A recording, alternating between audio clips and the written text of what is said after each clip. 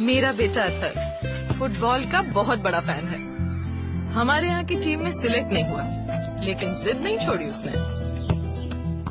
फिर एक दिन मम्मी मैं टीम में सिलेक्ट हो गया। अरे वाह! तो अब वो नए football shoes of course deserve करता है वो। अब चाहे कुछ भी हो जाए प्रैक्टिस कभी मिस नहीं करता।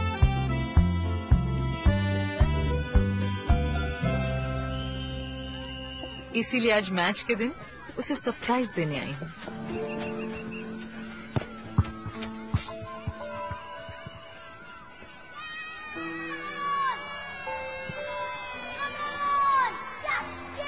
अथर्व टीम में था ही नहीं।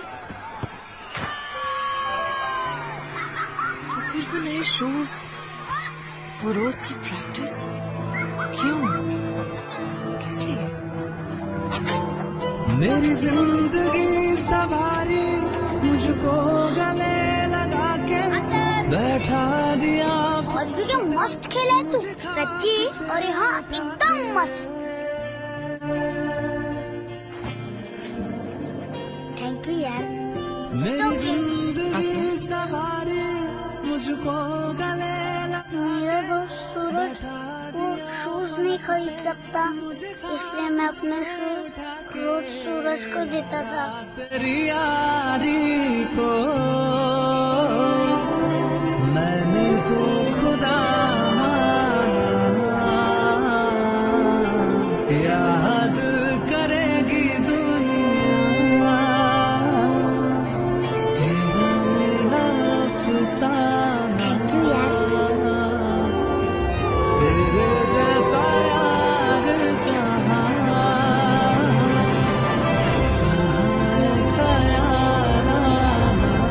आज मेरा अथर्व बिना खेले ही जीत गया। My son is ready for life